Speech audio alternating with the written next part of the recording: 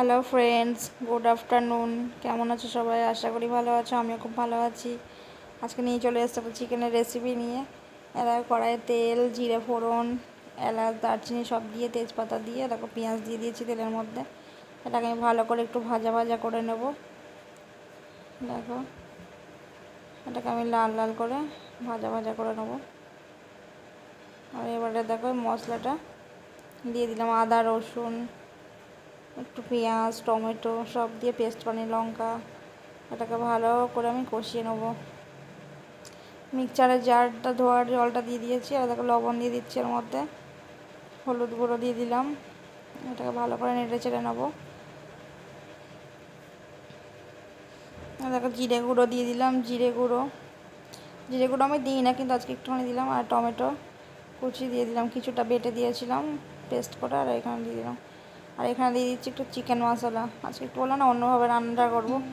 Chicken মশলা এখানে দিলাম Kashmiri red chilli powder আমরা এমনি রেড এমনি মানে ঝালটা লঙ্কার গুঁড়োটা দিই না। এটাই দিই আমরা কাশ্মীরি রেড চিলি কালারটার জন্য।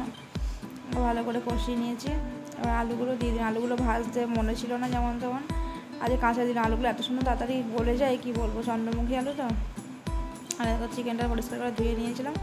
দিয়ে দিলাম এর মধ্যে। এবার এটাকে আমি ভালো করে কষিয়ে নেব সবার সঙ্গে।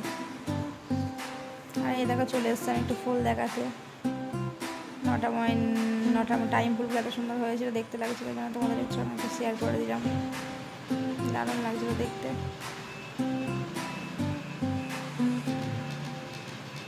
আর এই দেখো আমার তুলসী গাছ ছিল না দিয়ে দেখো এখানেই দুটো হয়েছে। কারণ তুলসী গাছ গাছ খুব খুঁজছিলাম কিন্তু পাচ্ছিলাম না কী করব? দিয়ে এখানেই দেখছি ওই ইয়ে পরে তুলসী গাছের বীজ পরে এখানে হয়ে গেছে। দেখো নয়নতারা কতগুলো চারা বেরিয়েছে। আর এখানে দেখো, মাংসটা আমার অনেকটা কষানো হয়েই গেছে পুরো।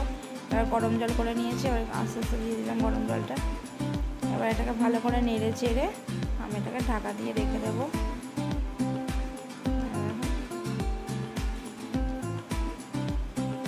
দেখো, মাংসটা হয়েই এসছে প্রায়।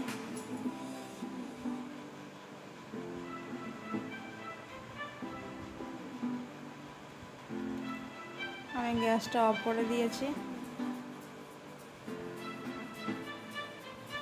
কেমন হয়েছে চিকেনটা? প্লিজ কমেন্ট করে দেখো চিকেনটা। তোমার সব ভালো থেকো সুস্থ থেকো। একটা লাইক করতে একদম ভুলো না একটা লাইক করে দিও। সবাই ভালো থেকো। আর প্লিজ নতুন বন্ধু আমার আমার চ্যানেলকে সাবস্ক্রাইব করে আমার পাশে থেকো। আর যারা আমার পাশে আসবে তাদের অনেক অনেক ধন্যবাদ। সবাই ভালো থেকো। Bye tata.